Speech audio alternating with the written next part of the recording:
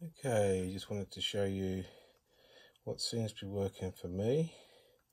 So I've soaked these seeds for about 48 hours and you can probably see the little white tails coming out of them. I just put them in a nice uh, distilled water or filtered water in this case.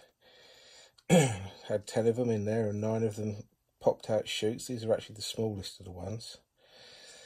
And what I'm going to use that I came up with is a lovely little paintbrush.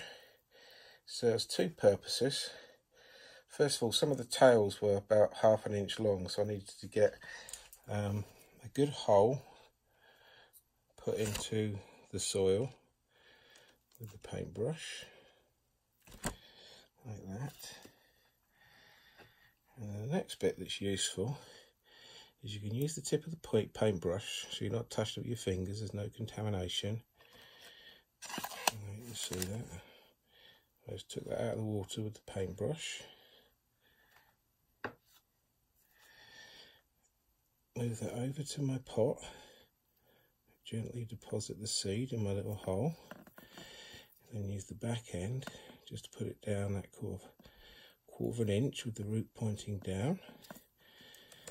A tiny bit of soil over the top of it.